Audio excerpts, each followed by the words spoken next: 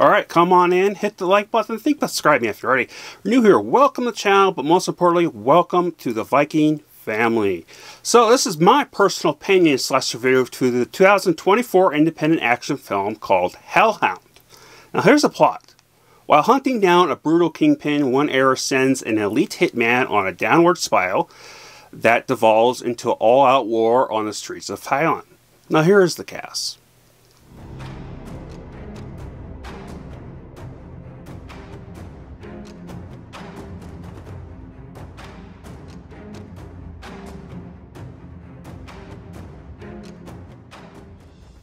For an independent film, this was better than I thought it would be.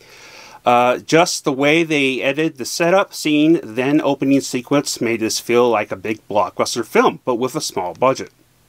I don't know who the actor is, I've seen him before, but he did a good job with not a lot of lines, in my opinion. So did his driver, who I was surprised to have more of a role in the story than normally we get.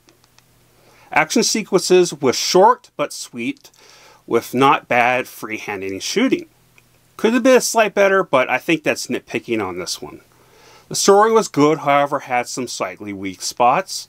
The score also was very blockbuster, however, I will say the audio of some time, uh, sometimes sounded like they used the camera mic that was built in. I'm never a fan of that. Uh, it just takes away so much and sounds cheap. Uh, but that wasn't like the whole film. There were so only certain scenes about it um, you kind of get a little bit of echo while also having it be in the background.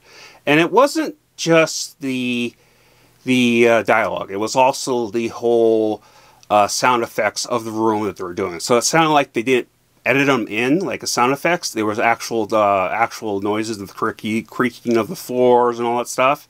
So I think they could have used the attachment if they did, um, or maybe a better mic. But here's my right now come back my thoughts.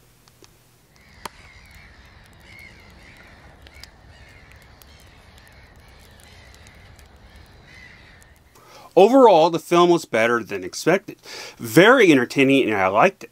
Despite having some rushness towards the beginning and the end, I do recommend it to you guys.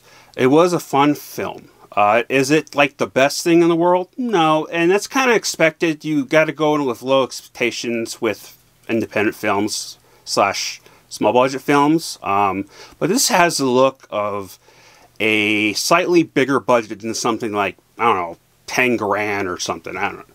You know, um, maybe it was like 50 or 100 or something like that or 1 million. I don't know. It was, it was, it had a good look to it. The story was super entertaining for sure. But I would say it has a lot of uh, issues here and there, especially in the beginning and the end.